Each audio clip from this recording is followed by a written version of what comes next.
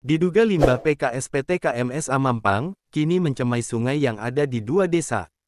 Global Expos TV Kabupaten Labuhan Batu Selatan, sungai yang meliputi di dua desa kini diduga telah tercemar limbah dari pabrik kelapa sawit, atau yang disingkat, PKS, PT KMS Amampang, hal ini terjadi ketika daerah itu sedang banjir.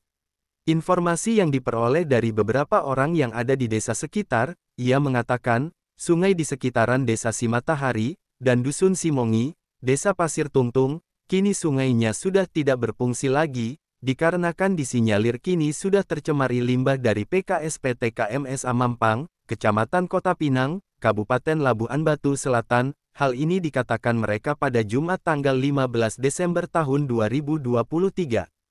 Alhasil dari pantauan wartawan pada hari Jumat tanggal 15 Desember tahun 2023 di lokasi, sekitar kolam tempat limbah tersebut, terlihat dari kolam pipa untuk aliran limbah ke parit besar di perkebunan masyarakat, itu terlihat air paritnya, itu mengalir ke sungai yang melewati dua desa itu sangat keruh, sehingga air sungai itu tidak bisa digunakan lagi oleh masyarakat setempat.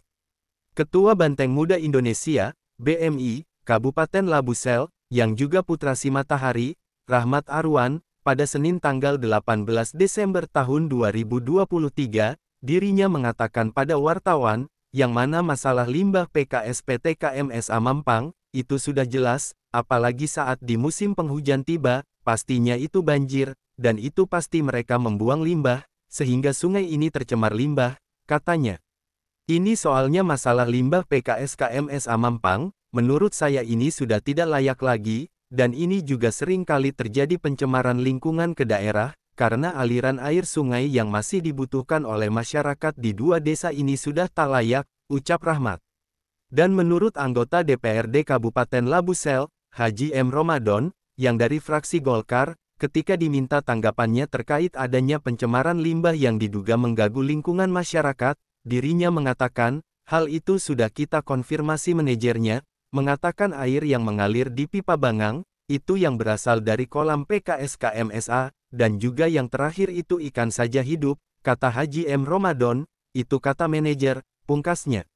Di sisi lain manajer PKSPT KMS Amampang, Herman, ketika dikonfirmasi via WhatsApp-nya, namun sampai berita ini dikirimkan dan ditayangkan, itu belum ada keterangan resmi perihal dugaan pencemaran limbahnya tersebut.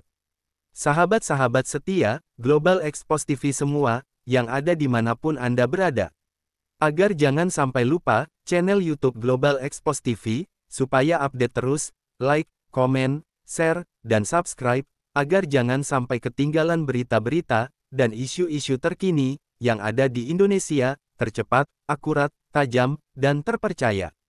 Laporan Kabiro Global Expos TV Kabupaten Labuhan Batu Selatan, Provinsi Sumatera Utara.